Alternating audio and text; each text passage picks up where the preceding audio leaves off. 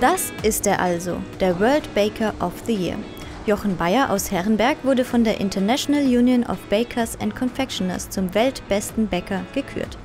Eine Auszeichnung, für die sich Bäcker übrigens nicht bewerben können. Jochen Bayer wurde dafür vom Zentralverband des deutschen Bäckerhandwerks nominiert. Auch wenn er schon viele Preise bekommen hat, ist das Gefühl diesmal ein ganz besonderes. Irre, irre. Ich war im Urlaub und als mich die Nachricht erreicht hat und ähm, es war einfach unglaublich. Ich wusste von der Nominierung zum World Baker of the Year, ähm, aber ich hätte nie damit gerechnet, dass ich ähm, diesen Titel bekomme. Ein Preis, bei dem es übrigens nicht um Geschmacksfragen geht. Für die Entscheidung spielen Kriterien wie bisherige Auszeichnungen, Wettbewerbserfolge und Innovationsgeist eine Rolle. Innovationen sind Jochen Bayer besonders wichtig. Erst 2016 hat er ein modernes Backhaus mit Filiale eröffnet. Und weil es den Familienbetrieb schon seit 1835 gibt, wollte er bestimmt schon immer Bäcker werden, oder? Nein. Als kleines Kind, wenn wir sonntags zum Essen gegangen sind, dann hieß es immer, und du wirst auch mal Bäcker. Und irgendwann kam natürlich in der Pubertät die, die Phase, wo ich dachte, ich werde kein Bäcker, ich werde Banker. Heute bin ich allerdings froh, dass ich nicht bei der Bank arbeite, sondern dass ich meiner Leidenschaft nachgehen kann und Brot backen kann und leckere Torten kreieren kann. Fast hätte Jochen Bayer seine Leidenschaft aber doch nicht ausleben können. Der 45-Jährige hat Asthma, eine Unverträglichkeit für Weizen und auch sonst alles, was ein Bäcker eigentlich nicht brauchen kann.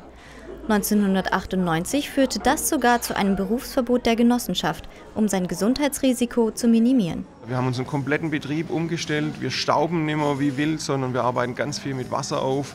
Und so ist es mir möglich geworden, ähm, quasi weiter in der Backstube zu bleiben, allerdings äh, mit großen Einschränkungen. Ähm, man kann es vielleicht vergleichen, früher habe ich die erste Geige gespielt und, äh, und heute bin ich der Dirigent. Zu seinen Aufgaben gehört jetzt zum Beispiel, den Bäckergesellen Alexander und Yannick mit Rat und Tat zur Seite zu stehen.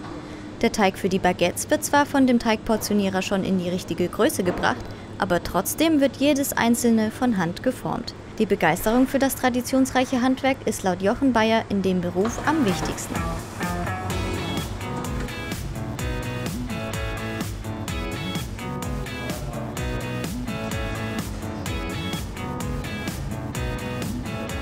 Neben den vielen Kontrollaufgaben kümmert er sich um ein Thema aber ganz besonders gerne. Am liebsten kümmere ich mich natürlich um die Zukunft. Und wenn ich bei mir in die Backstube gucke, wir sind ein ganz junges Team und äh, das ist für mich als Chef einfach eine wahre Freude, mit wie viel Herzblut die dabei sind und wie die sich mit Sauerteig beschäftigen, wie die sich mit Teigführung und Teigentwicklung und also das, ähm, das ist einfach super, das ist toll.